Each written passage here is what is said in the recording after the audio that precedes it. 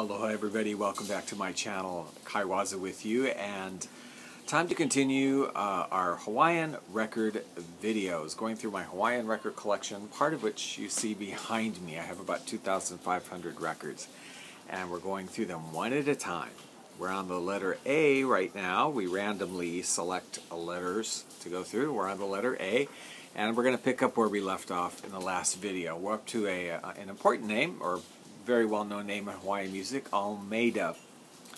Uh, there's a father and a son, Johnny Almeida and the son Pua Almeida. First, Johnny Almeida. Now, I only really have one LP album um, featuring Johnny Almeida. Uh, he did record a lot of music. Uh, However, I think the majority of it really is, is as singles, 45s, and you'll find uh, a lot of his music on compilation albums uh, from like 49th State Hawaii and Waikiki Records and some other labels where um, his music is featured. But as far as just an entire album, I really only have one, even though he was a very profound uh, musician, uh, singer, songwriter, wrote lots and lots of songs. Uh, he was actually blind, uh, known either as John K. Almeida, John Kame'aloha Almeida, or Johnny Almeida. He recorded under all names. It's the only album I have from him. I have shown this already when we talked about 49th State Records, but I wanted to include it here because it is really the only album I have by him.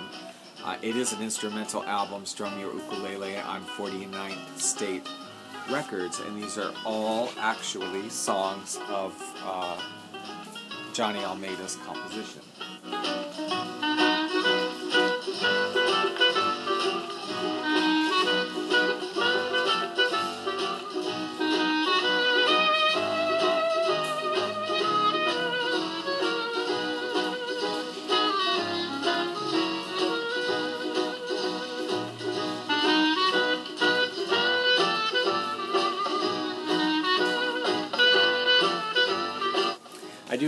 This record, that's a fairly rare recording um, to find these days.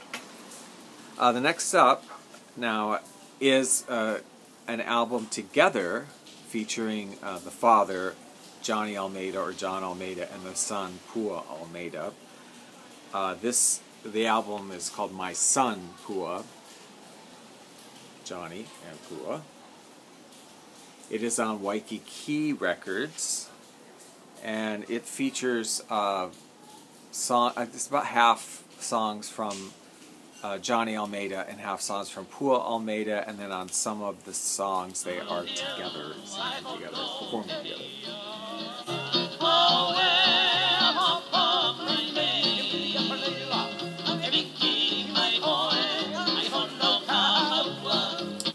And it's a, a letter uh, from Johnny Almeida sort of introducing Pua, although he was already known.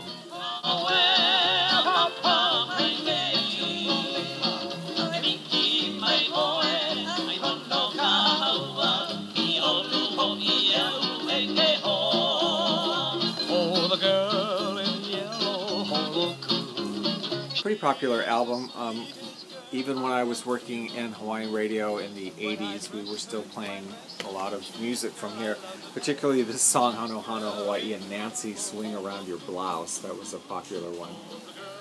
Anyway, my son, Pua. Now, Pua uh, Almeida performed for many years with his uh, group at the Moana Hotel uh, in Waikiki. But he had quite a long career, and I have several albums from him, but you should know also Pua Almeida was, uh, you can hear him on many, many other albums because he was a part of other groups. He was uh, recorded quite a bit with the Hawaii Calls Orchestra and chorus, Webley Edwards, you can hear him a lot there, and he recorded with many other artists.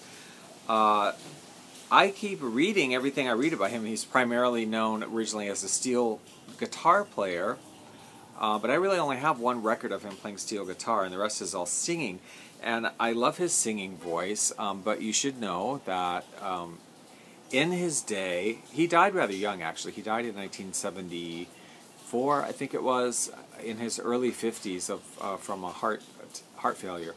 Um, but he had a very uh, distinctive singing voice, and in his day, some people were not completely, you know, completely fond of it, and today some people are not completely fond of it. I do from time to time hear people saying they don't really like. Some people say they don't like Pua Almeida, and the other camp, which I personally am, is that uh, people loved his voice. It was it's hard to describe. He has kind of a unique quality, and you'll hear it in the the samples that we're playing. A certain vibrato and a certain thinness to it that I don't know. I just find it very attractive. His voice. Uh, this album on Waikiki, "Dancing Under the Stars," Pua Almeida and his Banyan Court music. This is the Waikiki, uh, the Banyan Court at the Moana Surf Surfrider, which is still there, more or less like this.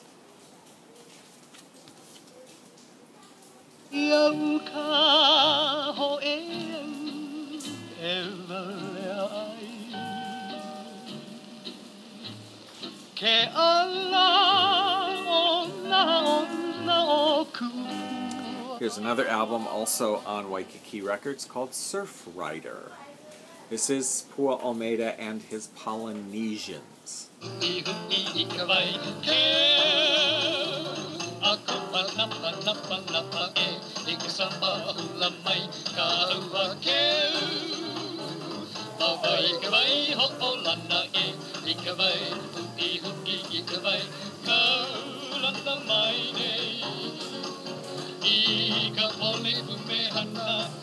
And this is on uh, Waikiki Records, as I said, red vinyl.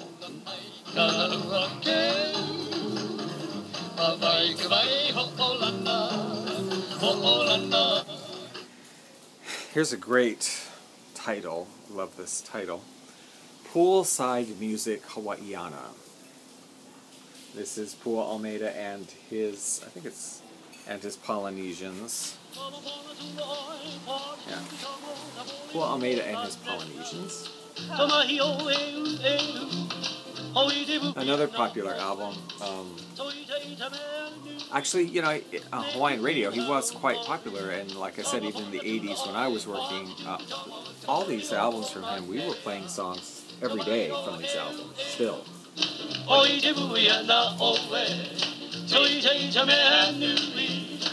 Make you feel how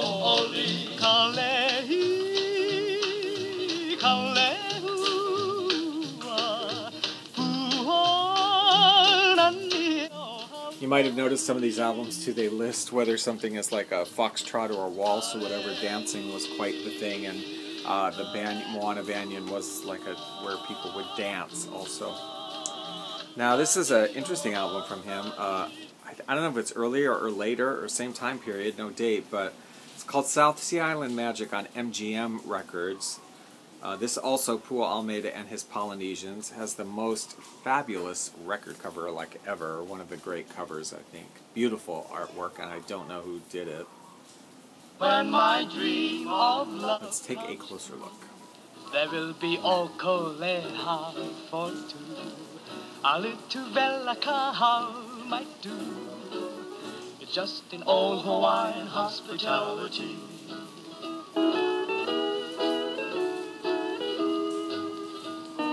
Um, a shortened version of this was also released on 10 inch, which I have, but this is the full effect. Also, uh, the uh, in this case, not in the other cases where it's Pua Almeida and his Polynesians, but in this case, um, I think this album was recorded in California, unlike the others which were recorded in Hawaii, because Pua Almeida and his Polynesians, his Polynesians on this record, who are listed, uh, as uh, Saul, Saul Kamehele, Sam Kaapuni, Sam Koki, Harry Batty. Though these Polynesians are actually the same as these Polynesians on Crown Records. If you know anything about the budget Hawaiian labels, uh, the Polynesians were a popular California-based Hawaiian group that did lots of recordings on Crown Records, and that's them. And that's the same people that are on this, the same Polynesians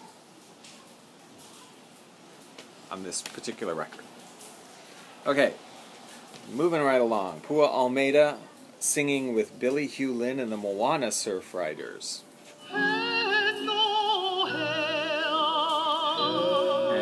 This one, it's on a, it's a one-off on an interesting label.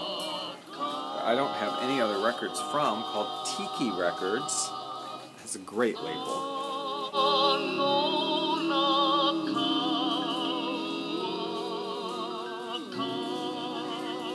And this is a nice album. Billy Hew Len was a steel guitarist who, uh, I don't remember, uh, that's him there, but uh, he only had one hand. Like, I don't remember, I'm trying to think, I think maybe it was a war injury, I'm not sure, but he just had one hand, and he had like a, a hook or something constructed that he could use the slide on, and he was quite an accomplished steel guitarist.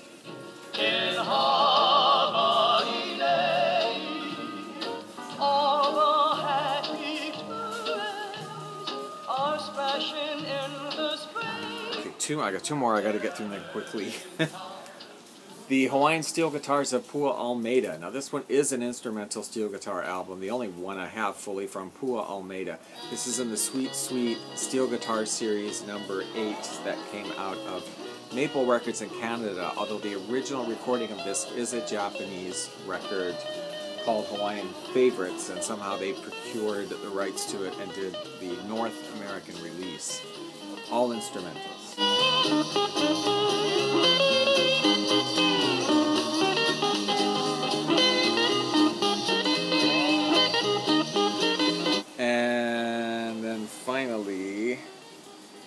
Have one that's from Japan. I don't know anything about it except that it's obviously part of some sort of set of like, I don't know, a million records, and I wish you could feel how heavy this is. It's very, very heavy. Uh, it's Rainbow, Music Rainbow number seven. One side of the album is Hawaiian music, which is all by Pua Almeida.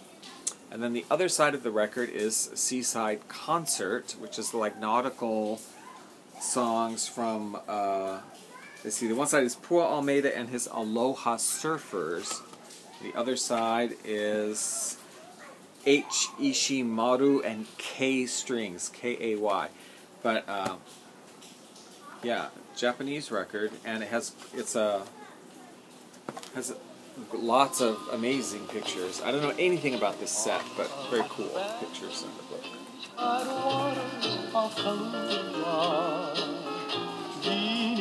Hawaiian skies, I fell in love with you. On a little bamboo bridge by the water of Kalua, we found a paradise, a paradise for two. While we were it's all in Japanese.